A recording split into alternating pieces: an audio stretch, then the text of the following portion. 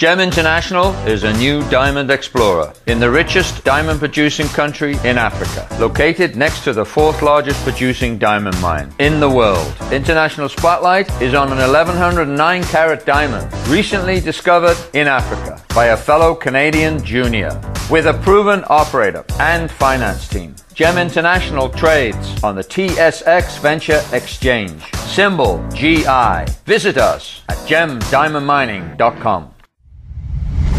You're listening to HoweStreet.com radio, available online at TalkDigitalNetwork.com. Welcome to HoweStreet.com radio, the online source for market opinions. Here is Jim Goddard. My guest is Rick Ackerman, editor of the newsletter Rick's Picks. His website is rickackerman.com. He's speaking to us from Colorado. Rick, welcome back to the show. Morning, Jim. Thanks for inviting me on. Amazon. Now, they seem to be inescapable when it comes to new business products and production. And you say there's one thing that makes Amazon stand out among the fangs is that they're a real company. They actually give you physical products. Right. It's not Snapchat or Uber or uh, even Airbnb. You know, uh, Amazon is real brick and mortar, and uh, it extends not just to the warehouses, but they're building transportation infrastructure, and uh, the things they build employ many, many people. And in the sense, uh, in the capital investment area, it's it's really what the uh, the uh, Hayek and and other economists have had in mind when they say that uh, you really have to build things and hire lots of people. That uh, building railroads and and uh, oil rigs and things is what truly adds wealth to the economy as opposed to the financial asset and uh, real estate inflation that we've been having since uh, the Fed stimulated us out of the Great Recession. So Amazon is the real deal, and um, I don't like what Amazon pretends for the future because it's a, it's a very deflationary business model. Uh, all by itself, uh, all by themselves, Amazon is going to put out of business many, many, many uh, large department stores, not just stores, but whole chains of stores. So this is uh, Amazon is in, in a sense uh, bringing on that creative destruction that uh, is ultimately valuable and uh, constructive uh, and constructive for the economy. So I look at Amazon then first of all, first and foremost is uh, the key bellwether stock, and as long as it's moving higher, it's inconceivable to me that the the stock market's going to break, that the bull market that just entered its 19th, ninth consecutive year will end.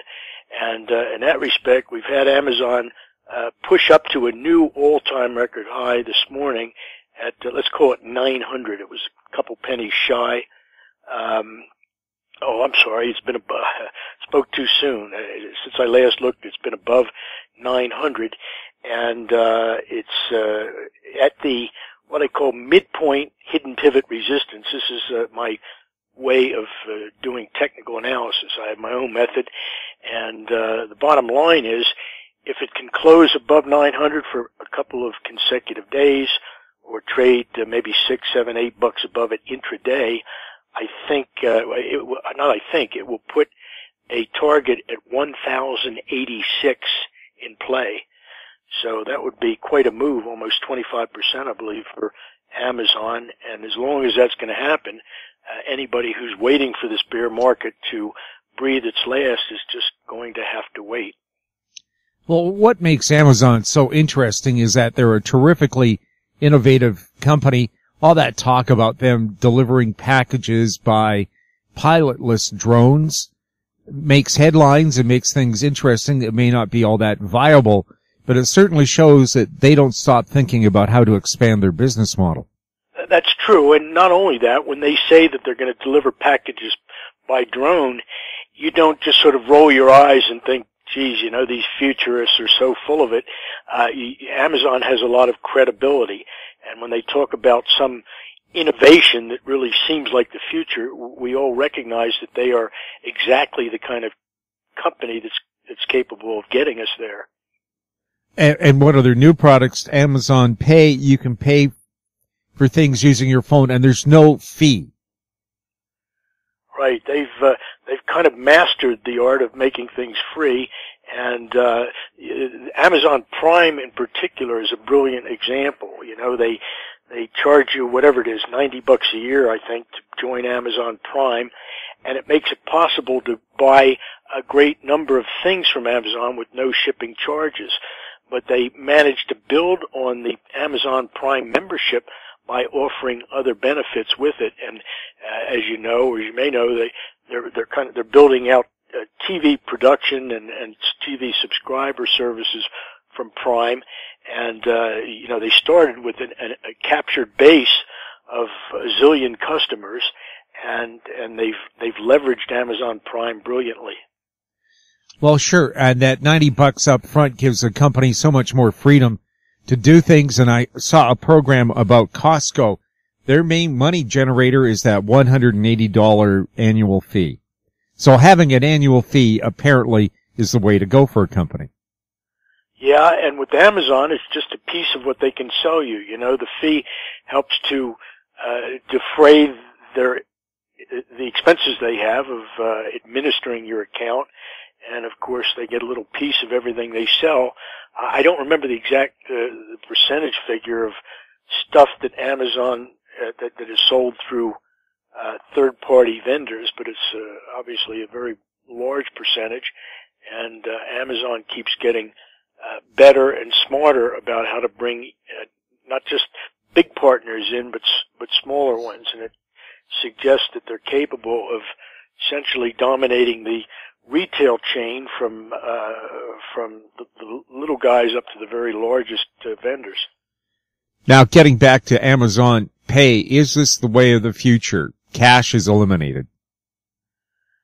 Well, if there's a company that's going to innovate new and easier ways to pay, Amazon's certainly going to be in the vanguard there. Uh, Apple has done its own work, but you can see that uh, it's getting to be the, the dollar's got a lot of competition, and certainly uh, it would seem that the the check clearing system is on its way out. It's uh, so very cumbersome. But uh, we've got Bitcoin and a number of other encrypted currencies, Bitcoin being the most popular of, the, of them. But uh, the the advantages of Bitcoin are that you can do transactions with no fees and that you can do them in any currency. Um, Amazon, as, as you just uh, what you just mentioned is a uh, feeless transaction process, and you know that it's just a short step for them to implement that same uh, the same process globally, so that you can have uh, feeless transactions in any currency, the same as you would with Bitcoin. Is this bad news for currency traders? Uh, no, I think, you know, we've seen the, some of the European currencies, the British pound and the Swiss franc, they've sort of hung in there for a lot of years while the euro, uh, bore the, let's call it the brunt of uh, international uh, uh trading and speculation. Uh, but uh, let's, the currency is becoming uh, much more competitive and it's, it, it would seem as though the government is already, uh, just because it's going to happen, ceding its monopoly, its currency monopoly, and to some extent, uh, at least is rumored, it's even getting in the game with the idea of uh, an, an encrypted currency that would be of U.S. mintage. I'm wondering too, with President Trump being worried about trade deficits and so on, could he do something like insist that Canada and Mexico use the U.S. dollar to even up the field?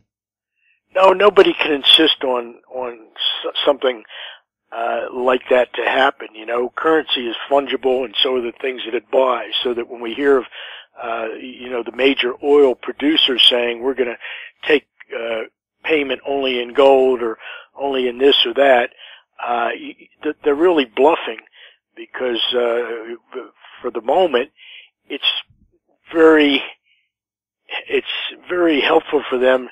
Uh, it's essential for them to be taking payment for uh, crude in dollars simply because uh, dollars are infinitely abundant. And uh, if if they were to insist that all buyers of natural gas or refined petroleum or crude uh, were to pay, let's say, in a very hard currency like gold, you would see their sales go uh, into the tank. So, uh, so the, the, the medium, the dollar as a medium of exchange for energy is uh, working for everybody, uh, despite the, the talk of, of some of the producers like Venezuela and Iran uh, and Russia of colluding to squeeze the dollar out. They can't do it because we all love to pay for crude in in a currency that is, as I said, infinitely available. We'll have more with Rick Ackerman right after the break. Aben Resources Limited is a gold exploration company with significant projects in British Columbia, Saskatchewan, and the Yukon. Trading on the TSX Venture Exchange, symbol ABN, and the pink symbol ABN AF surrounded by world-class gold deposits and mines. Aben's 23,000 hectares Forest Kerr Gold Project is located in the heart of the Golden Triangle in northwestern BC. For more information, visit us at abenresources.com. I'm Larry Reaugh, President and CEO of American Manganese Inc., listed on the TSX Venture, ticker symbol AMY, A-M-Y, with proprietary patents in the US, China, and South Africa. Our focus is on recycling lithium-ion batteries for electric vehicles. China recently legislated the responsibility for recycling onto their electric vehicle manufacturers and importers. For more information, please visit AmericanManganeseInc.com or phone me, Larry Reaugh, at 778 574 4444. Welcome back. We're speaking with Rick Ackerman. What do you see happening to oil this summer? Well, this is something we've talked about uh, a few times, and I haven't changed my my mind. You know, when we saw uh, crude headed up into the uh, into the toward sixty dollars, this was back in uh, January. Um, there was a problem with the story that was driving this rally, which uh, for crude began back in January of a year earlier, 2016. Crude was around 36 bucks a barrel back then, and uh, here we are rallying to just shy of 60. But the story we were hearing was uh, about the curtailment of supply. So, uh, you know, some of the big producers, Saudi Arabia is obviously the big swing producer, and they were going to bring uh, whip into line some of the other producers and they were all going to agree to produce less oil and drive up the price. And although that's possible in the short run, we've got such a, a global glut, most particularly coming from uh, U.S. fracking supplies, that uh, it's very hard for OPEC and uh, what, uh, for the Saudis uh, to make these price increases stick on a basis of reduced supply. You know, all the all the suppliers are eager to pump as much uh, oil as they can uh, because they've all got bills to pay. Even the Saudis do. So, so here was this. You know, every time it was rumored that uh, the the producers were near some agreement that would help to cut back on supply, we'd see oil uh, rally. But to me, the story was a was a phony. Uh, it, it had no credibility from the start simply because a, a true bull market in crude would not be driven by a a supply side curtailment story, it would be driven by increased demand. And in that respect, uh, it was plain to see that it wasn't coming mainly because the largest uh, buyer of crude, of energy at the margin is China, and uh, China's economy has been relatively soft in recent years. So if we were to read that uh, things are really starting to hum for China, and that won't happen really until global trade, broadly speaking, picks up, and, and that is not a trend that I foresee coming. So, so you're not going to see a demand-driven uh, story for oil, and that's why I think the rally, the potential of it was limited. Uh, we did see a top in uh, January up around 58, just a little, little below $58 a barrel. But since then, we've come down to as low as 47 bucks. And uh, maybe a month or two ago, we, you and I talked about a 43 target of mine. China as well. I think one of the restrictions for their growth is the lack of infrastructure for vehicles. Ten years ago, everybody rode bicycles to work. Now they're trying to drive their cars. They have nice wide freeways, but not the exits and entryways that you need to make those freeways efficient. China has they, they, they always they're, they're still on this kind of Stalin Stalinist central planning model, and we know from the experience of Russia in the 1930s that uh, that really wasn't the best way to grow the economy organically. China has all these ghost cities. The the idea being, you know, build it and they will come. So they've got buildings, some of which would serve as uh, offices, some would serve as think tank uh, think tanks and this and that. But it turns out that uh, no central planning, just building a city, can anticipate the complexity of, of an urban economy. And, uh, you know, for starters, you really can't fill those think tanks unless you have feeder streams from uh, universities. There have to be students and, and uh, universities, and they students have to be there for a reason, and they need uh, also to, to be able to support themselves uh, in, in these cities where they live to pay their tuition. So, so it's, it's beyond the, the realm of planners, uh, to, to kind of think a large city through. So in the same way, you know, China sort of builds the roads and discovered they missed some exits or, uh, they, they will discover they missed some exits because it will only be determined, uh, organically through, through everyday usage where people want to get off.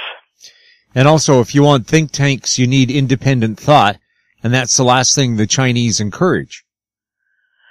Well, I, yeah, I mean, you, you hear that the, that the, they're sort of straitjacketed, that the thinking is kind of regimented by the needs of the central planners to have certain things happen.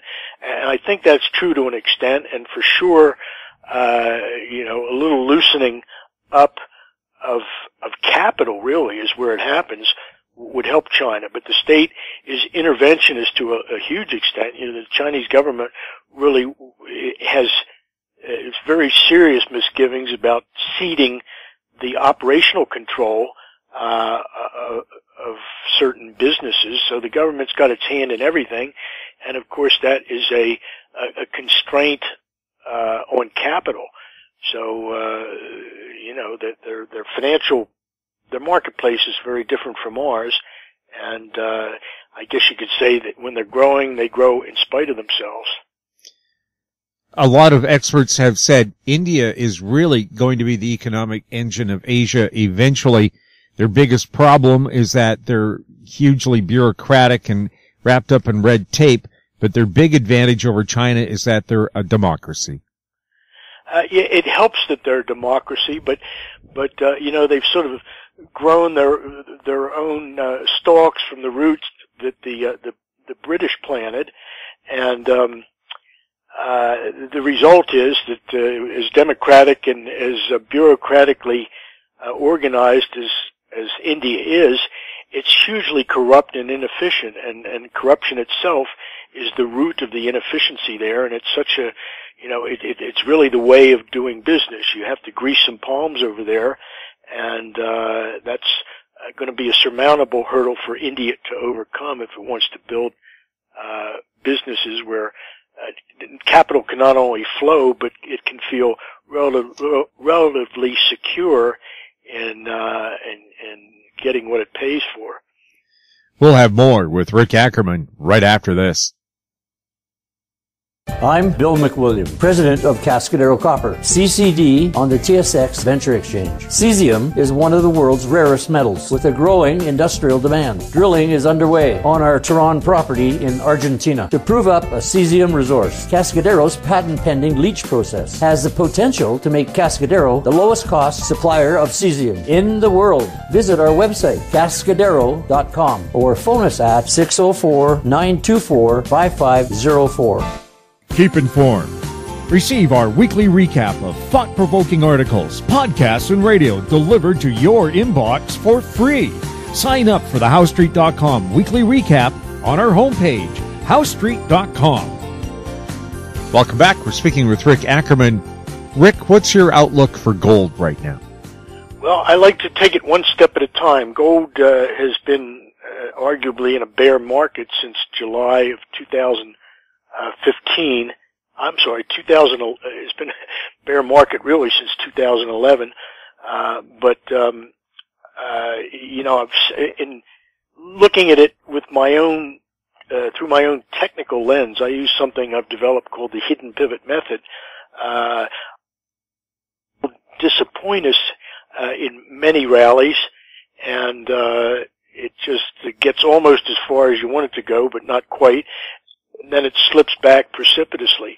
But uh, I, I can more or less give you, I can more or less guarantee that the June COMEX contract, uh, currently trading at twelve hundred fifty-eight dollars, is uh, is going to reach a, t- a target that I've been using for the last couple of weeks twelve seventy-five point eight zero. And uh, if we should see gold pop through that target, I call I refer to that as a hidden pivot resistance. If it pops through it pretty easily the first time it hits it, uh, that would be uh, a bullish sign. Now we've heard some incredible predictions for the price of gold: five thousand dollars an ounce, ten thousand dollars an ounce. Any hint of that?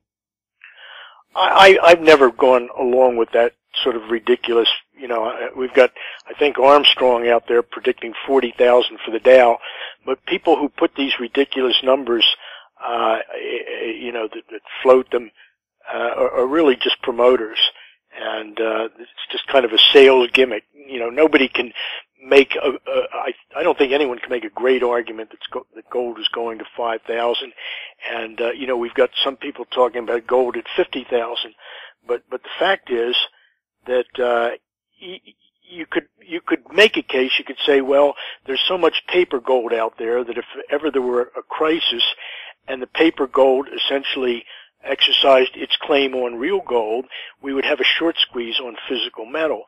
But uh, that presumes that the government will fall right in line and say, hey, all you bullion bankers who are short gold up the wazoo and who have been making huge sums being short gold, well, you've got to settle up on these contracts. So, you know, even if it bankrupts Goldman Sachs and JP Morgan and the rest of you, you got to pay, pay the little guys off, you know, with, with, the, with the gold that, uh, they have, have paper claims on. So that's never going to happen. And, and even, you know, to my most ardent gold bug sub- subscribers, I say, I tell them, if gold should spike to some ridiculous price, you better be really nimble and, and clever when you go out to talk to some farmer about trying to exchange a handful of Krugerrands for, you know, 50 acres of his land because he's going to look at you and say, I can't eat those Krugerrands. So, uh, in, in the situation that, uh, that presumptively would drive gold to untold heights, there would, it, it, it assumes uh, a, crisis that would make gold, uh, on the one hand, very valuable, but paradoxically, uh, not as valuable as uh, the, the top of the pyramid there, which is the food the food chain. And this was true for the German hyperinflation. You know, if you anyone who t- took out a hundred percent loan to buy farmland in the spring of 1921 uh, was able to pay off the entire loan uh, with the first harvest of potatoes. So we, we, we shouldn't kid ourselves about the value of gold in a real crisis. Yeah, and speaking of food, the earth is losing its topsoil at the rate of 1% a year. or So over the last 30 years, we've lost a third of our topsoil. Apparently, we're only 3 or 4% away from having a worldwide food crisis. well, that, I, I focus only on about a half a dozen things that could do us in, but that, that, that's one I haven't looked at. And another one I try not to think about too much is is uh, if, if uh, some smallpox virus that has been kept frozen in labs should get unleashed. So I, I just sort of focus on a an epic deflationary collapse and some of the easier stuff. Rick, thank you so much for chatting with us. Thank you, Jim. My guest has been Rick Ackerman, editor of the newsletter Rick's Picks. His website is rickackerman.com. You're listening to HoweStreet.com radio. Find us on Twitter at Talk Digital Net. Our YouTube channel is Talk Digital Network. Questions for Rick or for the show can be sent to info at HoweStreet.com. I'm Jim Goddard. Thanks for listening.